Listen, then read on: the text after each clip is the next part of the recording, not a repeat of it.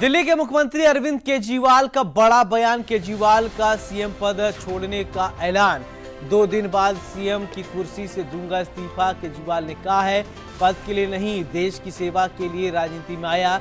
अरविंद केजरीवाल ने चला एक और बड़ा सियासी दांव। दिल्ली में 2025 में होने वाले हैं विधानसभा चुनाव। क्या दिल्ली विधानसभा चुनाव समय से पहले होंगे? केजरीवाल का ये जो खेल है, क्या केजरीवाल ने सियासी विक्टिंग कार्ड खेला है? जेल में थे, अरविंद केजरीवाल को इस्तीफा नहीं दिया, बाहर आकर इस्तीफे का ऐलान किया। रणनीति क्या है? पहले भी कई बार विक्टिंग कार्ड खेल चुके हैं अरविंद केजरीवाल। तो लगातार अरविंद केजरीवाल लगभग छः महीने बाद जेल से बाहर आए। इससे पहले तमाम राजनीति हुई कि अरविंद केजरीवाल जेल में रहकर सीएम पद पर नहीं रह सकते हैं।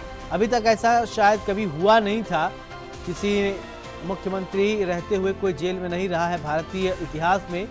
और अरविंद केजरीवाल इकलौते ऐसे मुख्यमंत्री हैं जो कि मुख्यमंत्री रहते हुए जेल में रहे हैं।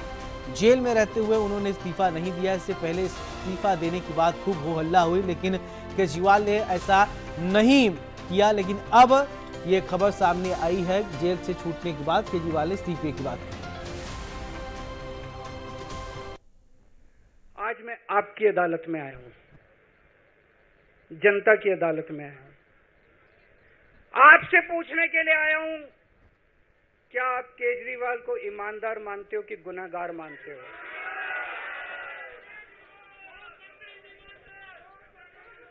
मैं दिल्ली की जनता से पूछना चाहता हूँ, मैं देश की जनता से पूछना चाहता हूँ कि क्या केजरीवाल ईमानदार है कि गुनाहगार है?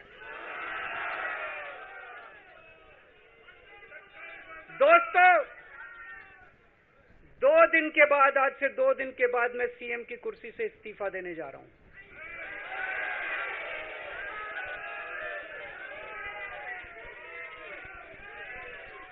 और मैं तब तक सीएम की कुर्सी पे नहीं बैठूँगा जब तक जनता अपना फैसला ना सुना दे।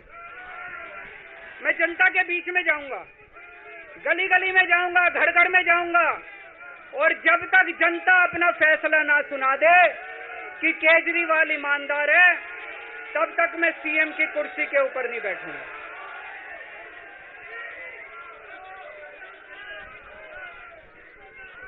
आज से कुछ महीने बाद चुनाव है। दिल्ली के चुनाव है। मैं जनता को निवेदन करना चाहता हूँ, अपील करना चाहता हूँ। अगर आपको लगता है केजरीवाल ईमानदार है मेरे पक्ष में वोट दे देना। अगर आपको लगता है केजरीवाल गुनाहगार है, मेरे को वोट मत देना।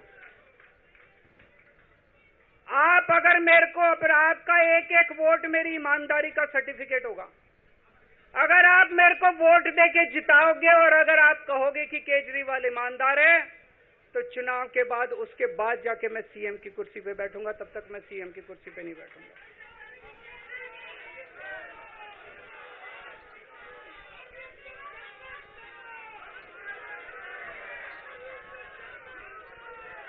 आपको लग रहा होगा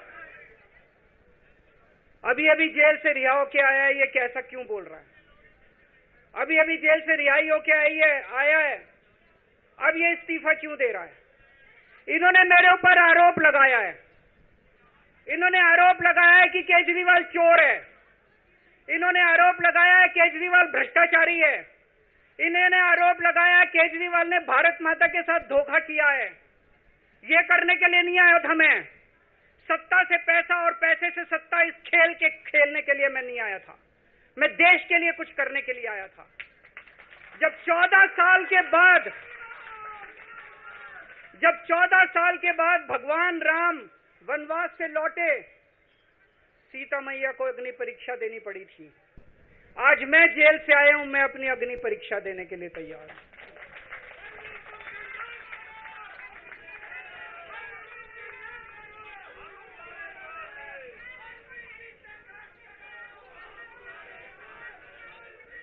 ये कुछ लोग बोल रहे हैं, सुप्रीम कोर्ट ने कुछ कंडीशंस लगाई हैं, काम नहीं कर पाएँगे।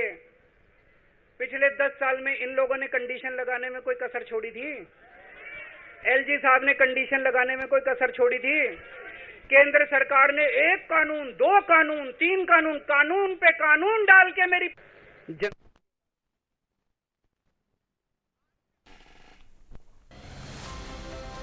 चलिए बढ़ते हैं खबरों में आगे सीएम योगी आदित्यनाथ का बहराइच